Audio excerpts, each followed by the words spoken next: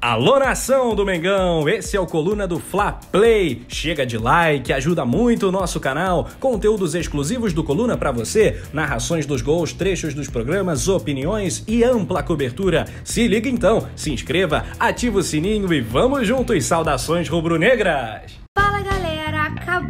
Fala galera, acabou a moleza. Paula Matos de volta depois daí do recesso do Réveillon. E quem também resolveu dar fim à moleza foi o nosso Gabigol. Isso mesmo. O atacante que, assim como o restante do elenco principal, só deveria se reapresentar ao Ninho do Urubu no próximo dia 10, antecipou a volta e se reapresentou ao centro de treinamento nessa última terça-feira, dia 4. Todo mundo criticou, inclusive, muito o Gabigol por estar curtindo suas férias com uma pessoa normal e ele compartilhou diversos momentos né, nas redes sociais, participou de vários shows aí como o Lil Gabi, tomou aí o seu whisky, aproveitou o seu recesso como nós, pessoas normais, fazemos e muita gente criticou o Gabigol dizendo que isso não era uma postura de um atleta. Pois bem, curtiu as férias, voltou antes do tempo, antes da data prevista, praticamente aí uma semaninha antes da reapresentação do elenco e já iniciou as atividades no Ninho do Urubu para a temporada de 2020 2022. Mas a gente sabe que fala bem não dá muito engajamento, então a galera aproveita mesmo pra cair em cima. Acho que tá mais do que provado que ele vem aí mais focado do que nunca pra temporada de 2022. Obviamente nós sabemos que tem Copa do Mundo sim, que o Gabigol tá focado na Copa do Mundo sim, mas para que ele consiga garantir a vaga na disputa do Qatar, ele precisa em primeiro lugar estar bem e estar voando aqui no Flamengo, que é o seu clube, que é a sua casa. A gente já sabe, tá mais do que provado que o Gabigol cresce com o manto sagrado, o quanto ele é um dos jogadores mais decisivos da história do Flamengo e um dos ídolos, dos maiores ídolos recentes, né, da nossa geração. Ele tá de volta e a gente sabe que quando o Gabigol tá focado, esquece, né? Vamos torcer aí para mais uma temporada de muito brilho do Gabigol, que ele consiga quebrar mais recordes, fazer mais história e continuar aí cada vez mais se consagrando e se eternizando como um dos grandes ídolos da história do Flamengo. Assim como ele, outros que não se reapresentaram, mas também estão focados para a temporada, são, por exemplo, o goleiro Hugo, os atacantes Michael e Pedro, que estão treinando em casa, estão treinando por conta própria. Eles não voltaram, só voltam no dia 10 muito provavelmente, mas estão compartilhando aí suas atividades para também voltar bem, voltar com ótima forma física, para poder brilhar bastante em 2022. Mas eu quero saber o que você achou dessa volta antecipada do Gabi. Acho que isso prova que ele tá mais do que comprometido, que a gente precisa muito dele. Ele é um cara extremamente diferencial, né, pro nosso elenco. A gente sabe o quanto o Gabigol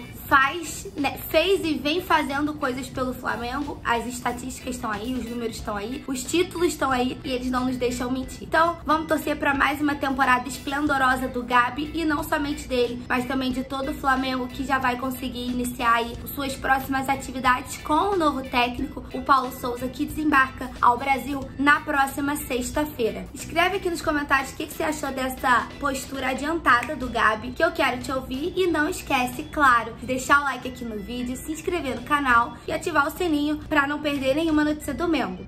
Saudações rubro-negras!